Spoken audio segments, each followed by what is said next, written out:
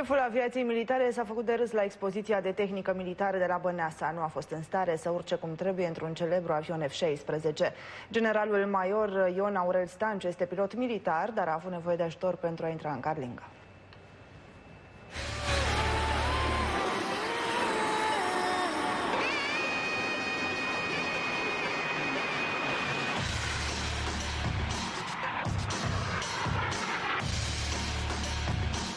Vizitatorii expoziției Black Sea Defense au avut parte de o scenă care i-ar fi lăsat cu gura căscată pe protagoniștii celebrului film Top Gun, dorind să le arate celor prezenți cum procedează piloții de vânătoare american când pleacă în misiune, șeful statului major al forțelor aeriene române, generalul major Aurel Stanciu, a încercat să se urce într-un avion F-16. A uitat însă cum.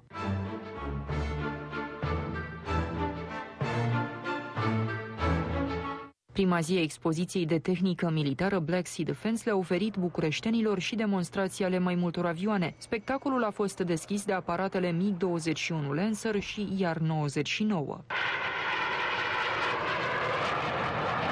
La București au aterizat și două dintre cele șapte avioane Spartan care vor intra în curând în dotarea armatei române. Are capabilități deosebite. Poate executa o serie de uh, o gamă largă de misiuni.